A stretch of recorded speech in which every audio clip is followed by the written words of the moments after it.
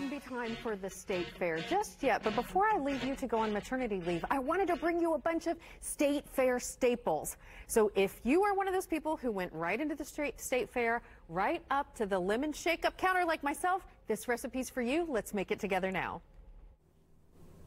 We might not be able to go to the state fair, but it is my goal to bring this state fair to you. So just sit back, relax, and step right up to get a lemon shake up because that's the very first place I go when I head to the Indiana State Fair. It's my favorite drink. The lemons smell amazing. I could bore you with all of the health benefits of lemon themselves, but let's be honest, when we visit the state fair, nobody's thinking about their health, and I'm not either right now. So I'm going to show you two ways to do this so you can make it at home. The first starts right over here at the stovetop because we need to make a simple syrup. So we're going to start with a saucepan on medium high.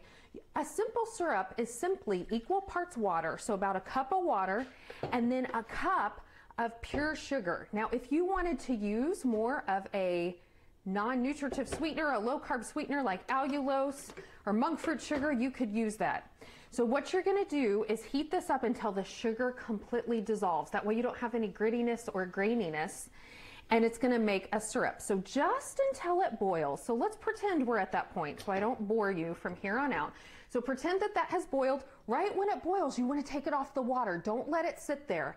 And then what we're gonna add, it's gonna get kind of thick and rich. You can come back in here. We're gonna add to that the zest of, I like to put the zest of three lemons. That gives it this nice, nice bright lemony flavor in it. That goes right into our simple syrup. And then a ton of lemon juice, a ton of lemon juice. So take a look at this. You can come back down over here. Just get up a little higher so you can see these lemons being squeezed in.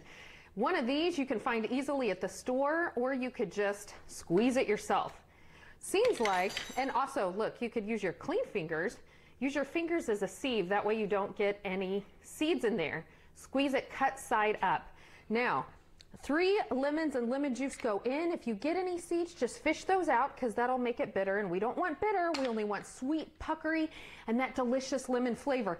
One of the other keys to having a lemon stand, I think, for lemon shake, I don't know, I'm not necessarily a lemon shake up expert, but I do know that they have lots of these around and they make your kitchen smell absolutely amazing. So you let that simple syrup set in the refrigerator for at least 30 minutes you can strain it if you don't want all of that lemon zest. I happen to love the lemon zest. So take a look here. This is the lemon syrup that I've already made. We are gonna put it into this bottle right here. There you go. If you want, again, if you wanted to strain it to get all of, it, see it's kind of thick. The more sugar you add, the thicker and more syrupy it's gonna be. This is a bottle of lemon deliciousness. You could use this on pancakes, on ice cream, on waffles, in your lemon shake up. So I'm gonna put a bunch of ice because that's another key to a good lemon shake up. Is a ton of ice and then a big straw, okay? So we'll fill this up, pour some of the lemon syrup in. Now this is concentrated stuff. See all the pulp coming out, all the lemony goodness? And now, because it's concentrated, put some fresh cold water in there.